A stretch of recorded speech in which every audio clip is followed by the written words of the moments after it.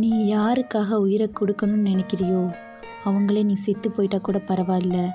என் வாழ்க்கையை விட்டு போயிருன்னு சொல்லும்போது வரும் பாருங்க ஒரு வழி அந்த வழியை அனுபவிக்கும் போது தான் தெரியும். நமக்கு பிடிச்சவங்களே நம்ம மனசை கஷ்டப்படுத்தும் போது திட்டவும் முடியலை அளவும் முடியலை. கஷ்டமாக இருக்குது ஏன்னா அதிக அன்பு ஒரு நாள் அனாதையாக்கும். அப்போ கூட லூசு மாதிரி அவங்க மெசேஜுக்கு வெயிட் பண்ணிட்டு தான் இருப்போம்.